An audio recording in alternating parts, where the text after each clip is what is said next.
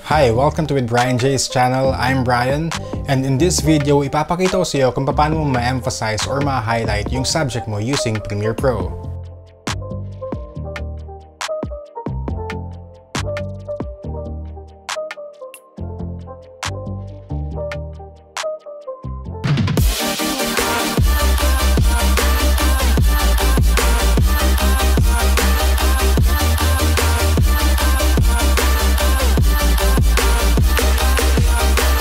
Gagamitin natin yung Lumetri effect and masking dito sa tutorial na to. So let's begin.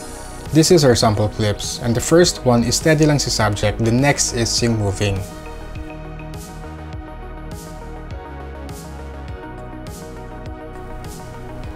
Let's start with this clip na hindi nagbago yung position ni subject.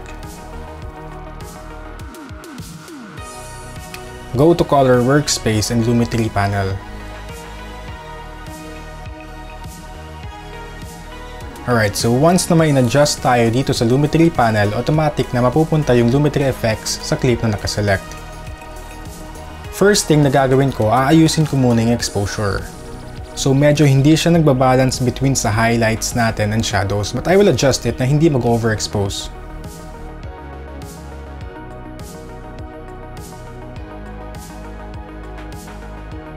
So once you're okay with the exposure, next is duplicate the clip. Press Alt to duplicate then drag lang sa taas. Remember, kailangan pantay siya. Then go to Effect Controls and dito sa Opacity, select the Pen tool. Ngayon, start na tayo mag-mask. Ang nakakatuwa lang dito, kahit hindi perfect masking, nag-work pa rin siya. So, paikutan lang natin sa subject.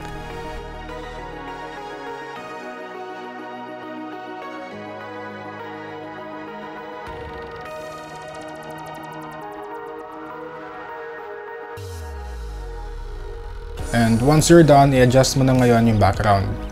You can apply LUTs or kung paano mo siya i-color grade. For this video, I will apply LUTs.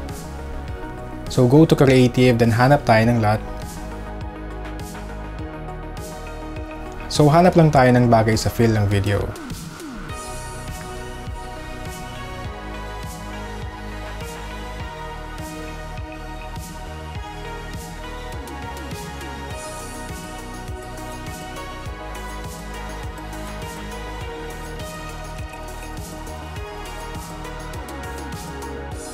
The reason kung bakit ako dito pumili is para ma-adjust natin yung intensity ng LUT.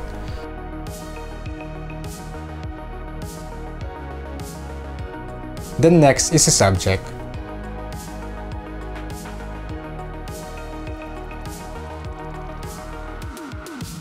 Konting angat ng exposure, then contrast. And in this video, hindi ko nalalagyan ng LUT sa subject to have a balanced skin tone. Minsan kasi yung ibang LUTs, medyo unnatural na yung skin tone niya. So I'm good with this.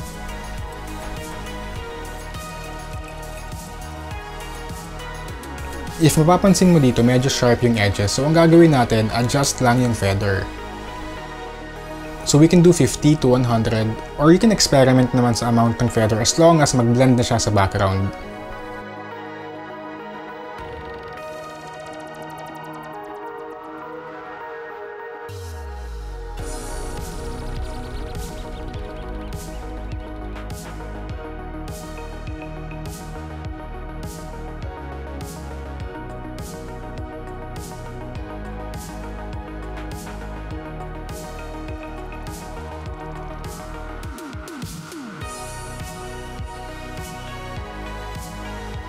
Okay, so next is yung moving subject.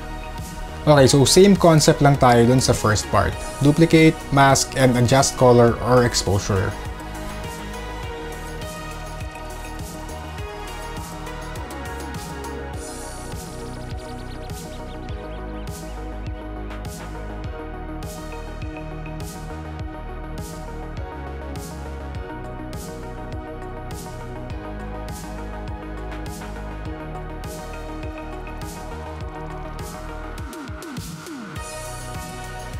So since na gumagalaw si subject, what we can do is to assign or put keyframes.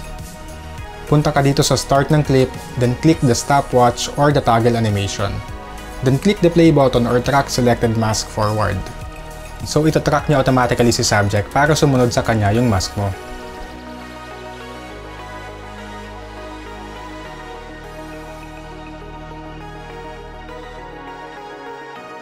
In some instances, hindi ganun ka-accurate yung tracking so imamanual mo siya.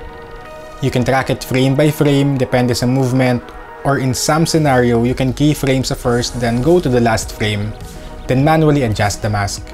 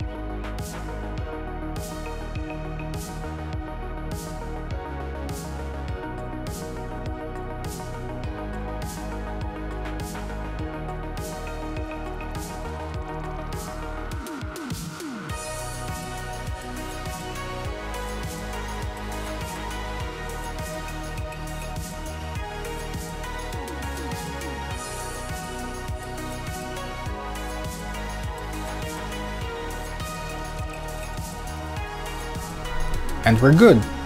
So sana may natutunan ka sa video natin ngayon. And remember, trial and error pa rin to hanggang sa masatisfy ka sa resulta.